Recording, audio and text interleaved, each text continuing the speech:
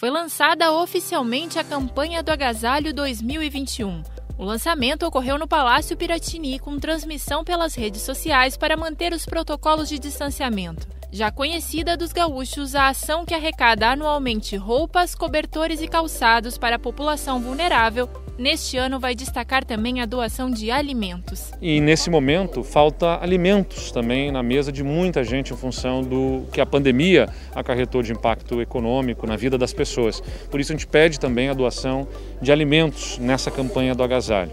E acima de tudo, lembrar que a gente está em tempos de vacinação contra o Covid. A campanha do agasalho é a vacina contra o ódio, contra o rancor, contra os ataques, as agressões que estão aí, infelizmente, tão presentes nesse momento de tanta tensão.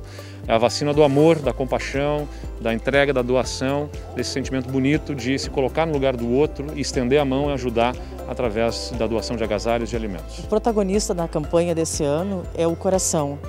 E a nossa campanha, o nosso conceito de campanha vai direto ao ponto, né? Que ajude doando, a sua doação aquece um coração. E nós queremos mesmo que aqueça o coração, não somente no frio, que já é uma situação muito grave, mas também na fome, que a gente possa dar uma contribuição, todas as pessoas ajudando, nós vamos aliviar um pouco, né, a dor de muitas pessoas. Qualquer quantidade de alimentos não perecíveis pode ser doada. Então nós estamos uh, conclamando o povo gaúcho para que doem alimentos, não apenas cesta básica. Aquela pessoa que tiver um pacote de massa, um pacote de arroz, um pacote de feijão, que faça a doação, que vai, com certeza vai fazer a diferença para quem está necessitado. Nós na Defesa Civil, nós temos a, a, a listagem, nós temos cadastrados entidades e, e, e comunidades muito carentes que estão necessitadas. É, e não esquecendo também uh, da doação de agasalhos, né, que é muito importante. O nosso inverno é um inverno rigoroso, né, as pessoas precisam de agasalho. É importante que as peças de roupas e calçados doados estejam limpos e ainda em boas condições de uso.